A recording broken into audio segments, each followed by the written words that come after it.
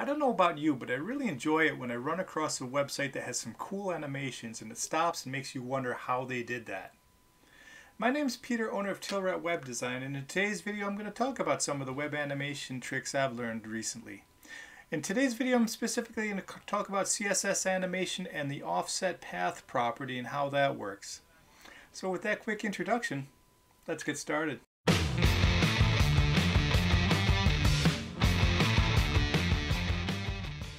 In the CodePen app again today, codepen.io, where I've set up a container with 100 viewport width and 100 viewport height, in which we have put this green arrow, which I've made uh, just using a clip path, polygon clip path, made it green. And we're positioning it absolute top and zero left, zero, so uh, nothing will be pushed out of the way so we can show uh, in this video this arrow animating along a path. So to get this path, we go over here into Inkscape. It's a free program. We can um, make SVG illustrations, but it also reveals the code behind those illustrations. So I uh, go over here to document properties. I set everything up in, uh, in pixels. I set it, let's go for a custom size 600 by 600 and then make the scale, we'll put the scale at 1, and then we check that our view box is the same, 600 by 600, good.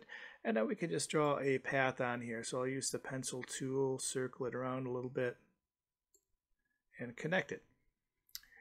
And what you can then do is go over to the XML editor part of Inkscape, and here is the path we just put in. You can see it's quite long and complicated, so to uh, simplify things, just go back here and hit Control L a few times to get rid of some of those nodes. Just make it a simpler path.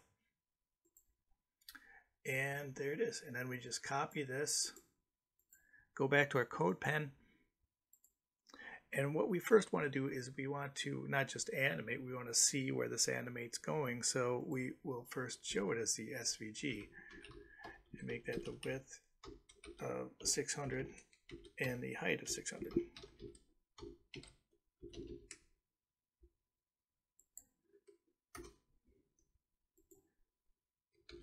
And then put it in path. Path d equals, and then we paste what we just had in.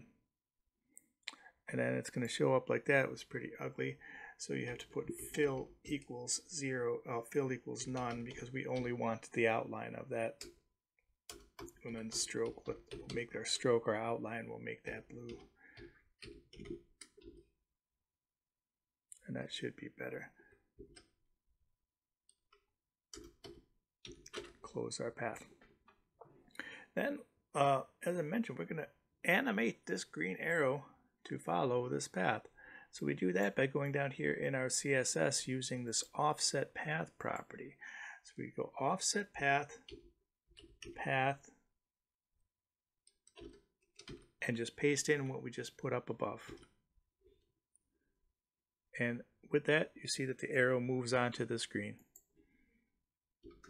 And we want to animate that, so we have animation. Let's call it follow path.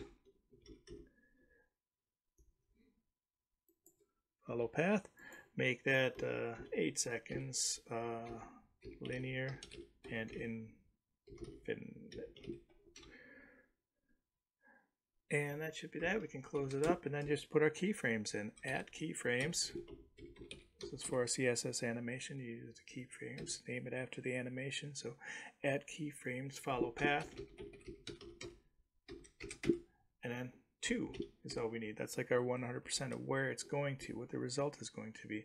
So in this case, we'll put offset distance and make that 100%. And that should be it. If I've typed everything correctly, our arrow should start moving. It doesn't, so I've probably have a misspelling here somewhere. So give me a moment and I will. And there it is. It's at keyframes, not at keyframe. Now we should be in motion.